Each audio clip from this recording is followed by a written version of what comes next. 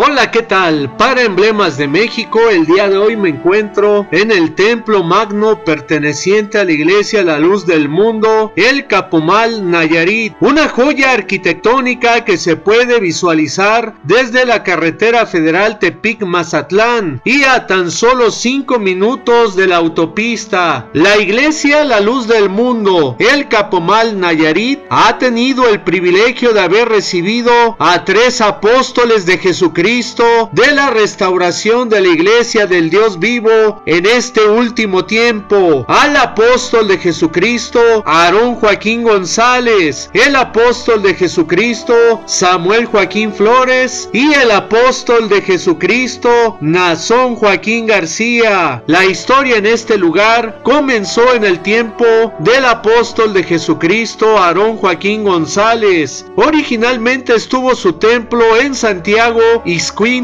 pero debido a los constantes desbordamientos del río Santiago, el maestro Aarón Joaquín les pidió que dejaran ese lugar y buscaran otro donde reunirse, siendo el ministro de ese entonces el hermano encargado José Pérez, quien con la ayuda de algunos hermanos de aquel tiempo, como el hermano Gregorio Velázquez, Paulino Sánchez y Jerónimo Luna, visitaron al presidente municipal para que les otorgara un lugar donde reubicarse. De esta forma se pudo lograr que les concedieran los terrenos ubicados a las orillas del municipio, donde los miembros de esta localidad comenzaron a hacer sus casitas de cartón y lámina para después conformar a través de los años de esfuerzo y arduo trabajo lograron cristalizar una de las primeras colonias de hijos de Dios que lleva el nombre insigne de hermosa provincia en la iglesia La Luz del Mundo. Asimismo iniciaron con la construcción de un enorme templo a la gloria de Dios. Cabe destacar que su diseño arquitectónico tiene un estilo partenón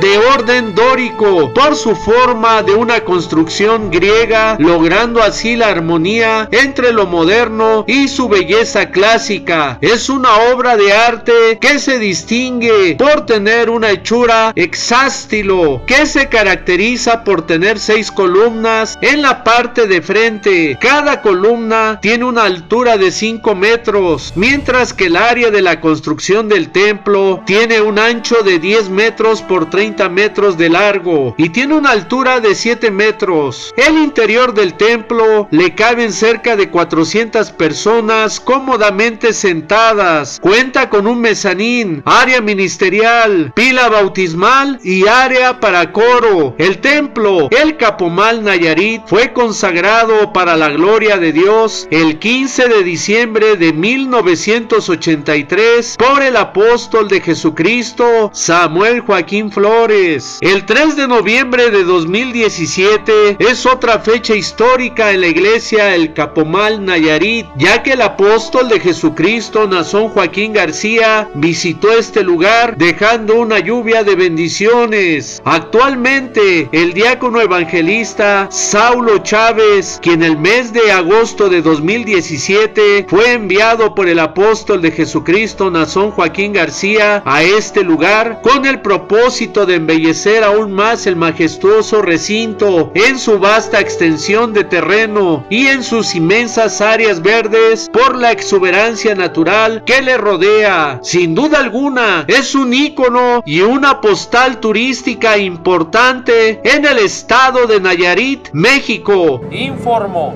para Emblemas de México Daniel Cruz Benítez. Nos vemos en la siguiente cápsula informativa. Muchas gracias.